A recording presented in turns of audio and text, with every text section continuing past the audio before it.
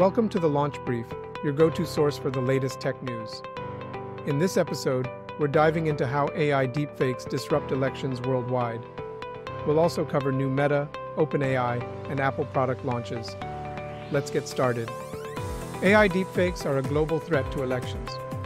India's elections, which began last week and will continue until early June, highlight how the rapid growth of AI tools is changing the democratic process. With AI, creating fake media around political campaigns is easier than ever.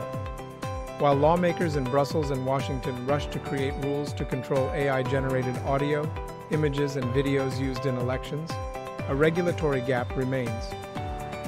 The EU's AI Act won't take effect after their June parliamentary elections. In the US, Bipartisan legislation to ban fake AI content about federal candidates probably won't become law before the November elections. Some U.S. states have made laws against deceptive videos, but overall, policies are inconsistent. Meanwhile, there are few protections to stop politicians and their allies from using AI to fool voters. Fake media can spread quickly on social media and in private group chats. It's up to individuals, not regulators, to make ethical choices and avoid election chaos caused by AI. Generative AI tools are now so cheap and widely available that people can create misinformation without government support, matching nation state campaigns. So, as election season heads up in the United States, brace yourself for more advanced deep fakes than we saw earlier.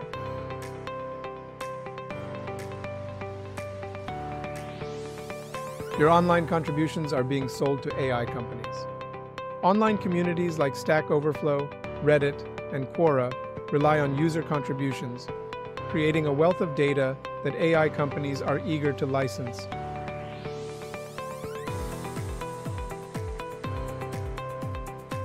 This week, Stack Overflow, an online programmer community, signed a deal with OpenAI to supply data for their models. They've also partnered with Google to help train the Gemini model earlier.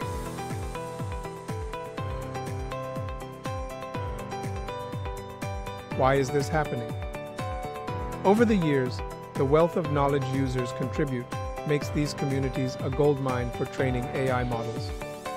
Their data helps AI companies understand human questions, answers, and interactions better, making models like ChatGPT and Gemini more accurate.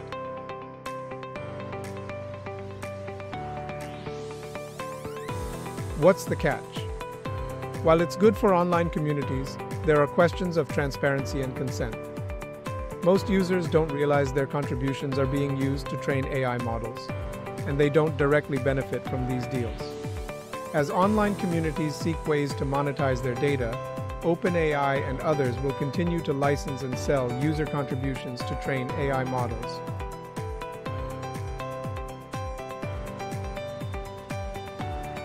There are lots of ethical questions. Should users be compensated? How can they ensure their data is used responsibly? AI companies will continue seeking valuable data sources to train their models. It's worth staying informed about how your contributions are being used.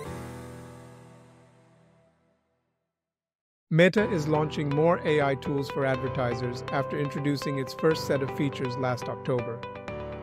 Now, advertisers can request new image variations, letting AI change the photo's subject or product being advertised. This feature is powerful, but advertisers could misuse it to trick customers into buying products that don't exist. Meta says this feature has already begun rolling out. Soon, advertisers can add text prompts to tailor image variations even more.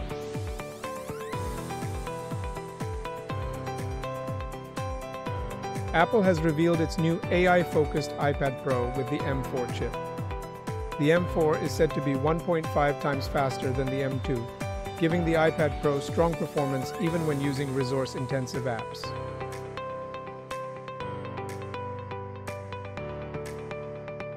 That's all for this week. We hope you found these updates informative. Stay tuned for more in-depth analysis and insights as we explore the fascinating world of AI.